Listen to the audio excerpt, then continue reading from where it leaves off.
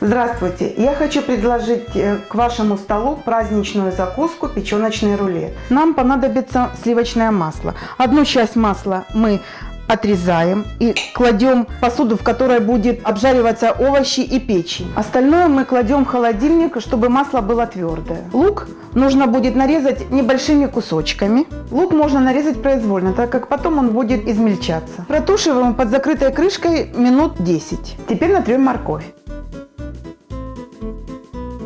Теперь займемся печенью. Печень нужно очистить от пленочек и от желчных протоков и нарезать небольшими кусочками. Морковь добавляем к луку и вместе с луком протушиваем ее минут 5-7. К нашим овощам добавляем печень и протушиваем ее 15 минут. Во время тушения овощи и печень нужно несколько раз перемешать.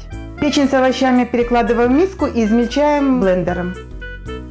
Во время измельчения печени мы добавляем мускатный орех, совсем чуть-чуть, чтобы не испортить вкус. Соль, белый перец и коньяк.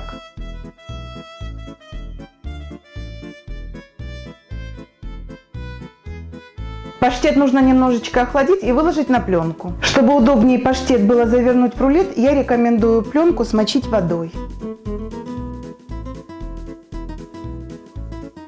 Паштет нужно выложить тонким слоем на пленочку и пусть он немножечко еще подостынет. Охлажденное масло натираем сверху на паштет. Масло нужно разровнять по поверхности паштета.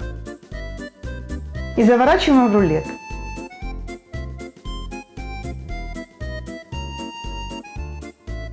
У нас получился вот такой вот рулетик. Мы должны его поставить в холодильник на ночь, чтобы он застыл. Наш рулет застыл. Мы разворачиваем его и нарезаем на порционные кусочки.